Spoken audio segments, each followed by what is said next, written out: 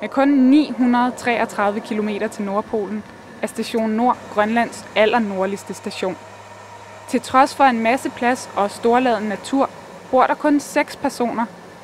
Nærmeste by ligger over 700 km væk på Svalbard, så hvis noget går galt, er der meget langt til hjælpen.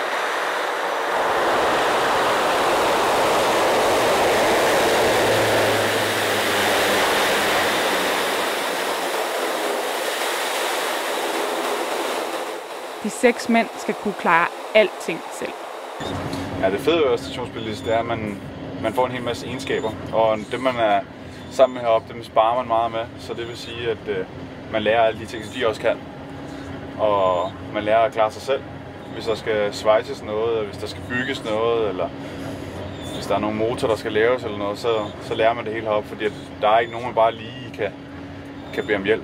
Eller man kan selvfølgelig ringe til nogen, men man er nødt til selv at have det i hænderne. Der er mange ting, der skal klares på stationen.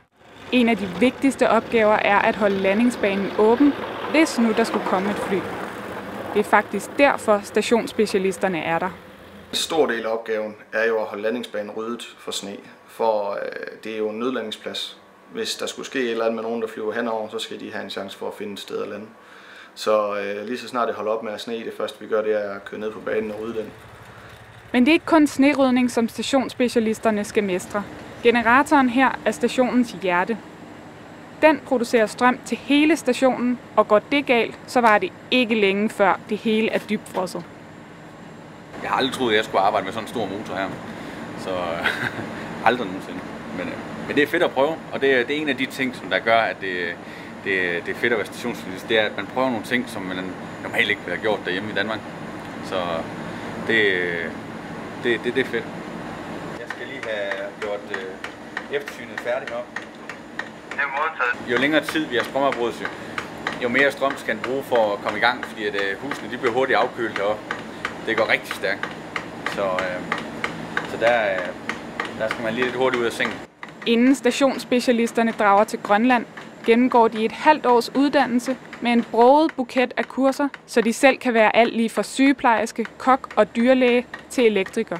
Og der får man jo øh, en af de, efter min mening, bedste uddannelser i forsvaret, hvor man får lov til at prøve alt fra at stå og på, inde på dyrlægehøjskolen og, og reparere i hunden, øh, simpelthen for at lære, hvordan man gør, hvis der skulle ske noget med vores hår, øh, og over til den anden grøft, hvor vi står og laver mad inde på en højskole inde i København. Det, der er rigtig mange spændende kurser blandt. Stationsspecialisterne binder sig til tjeneste i hele to år, og det kan godt lyde som rigtig lang tid. Så savner der familien og kæresten, det er da klart. Øhm, og så savner man øh, ja, sine venner.